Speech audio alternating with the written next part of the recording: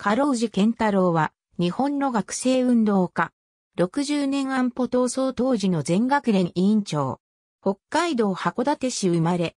幼少時に父を亡くし、郵便局の保険外交員をしていた母のもとで育てられる。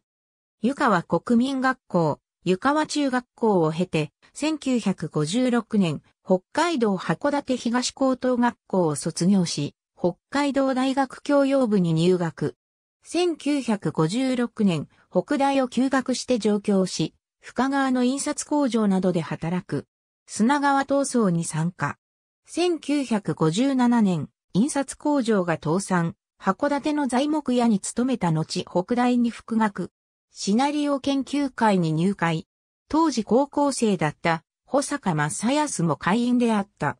北大教養部自治会委員長に選出され、日本共産党に入党する。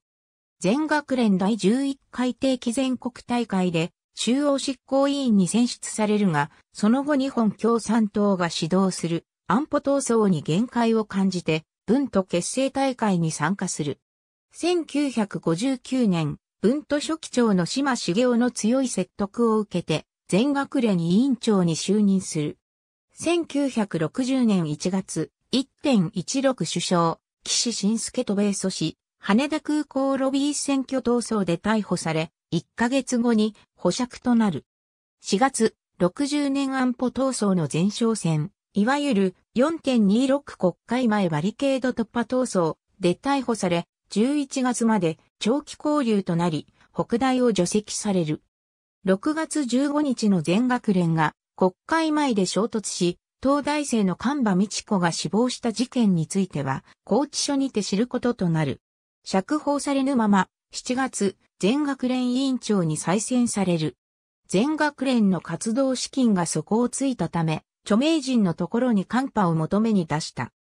鶴見俊介のところへ行くと10万円出してくれたが、鶴見が安保に対する抗議のために大学を辞職すると、夫人の横山貞子から、あの10万円、返して、ちょうだいと電話があったという。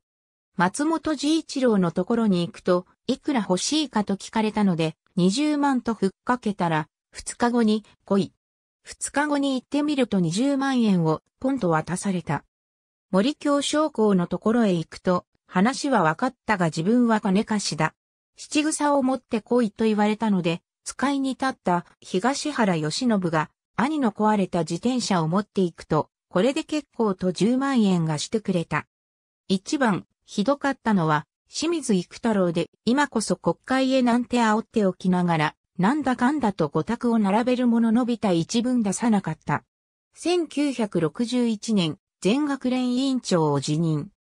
1962年、文都と革命的共産主義者同盟と野合し、共産主義学生同盟の結成を画策するが、中止となる。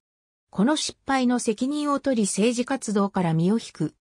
元共産党委員長で実業家の田中清春の経営する丸和産業に食卓の身分で就職する。以後全国を放浪。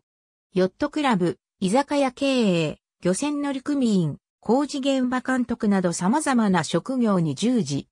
1982年からは、徳田虎尾の要請で、札幌特集会病院設立に協力した。1984年3月4日、直腸癌のため死去。葬儀は19日に青山葬儀所で行われた。自由民主党幹事長にもなった加藤光一は、カロウジ追走集にて、昔なら、カロウジさんは農民運動の名指導者になっていたのではないだろうか。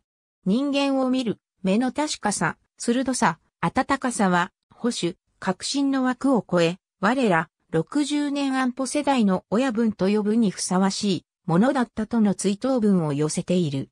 ありがとうございます。